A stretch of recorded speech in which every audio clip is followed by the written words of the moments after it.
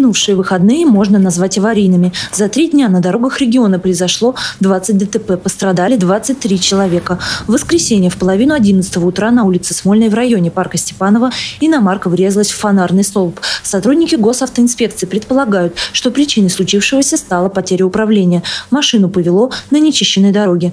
В результате заноса автомобиль перевернулся. Вслед за этим рухнула и опора уличного освещения. Водитель не пострадал, из автомобиля выбрался самостоятельно.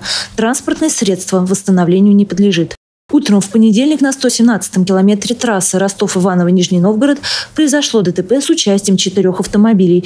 Водитель Сузуки Балена, совершая обгон, выехал на встречку. Уходя от столкновения с ВАЗом, свернул на обочину, но по касательной все же задел девятку. В заносе Сузуки свез еще и иномарку Hyundai. Последний же столкнулся с восьмеркой. Водитель автомобиля Сузуки госпитализирован. Пострадали э, два пассажира автомобиля ВАЗ-21083. Это женщина 81 года рождения, э, которая с ушибом грудной клетки и голени госпитализирована в ЦРБ города Тейково, а также несовершеннолетняя девочка 2002 года рождения,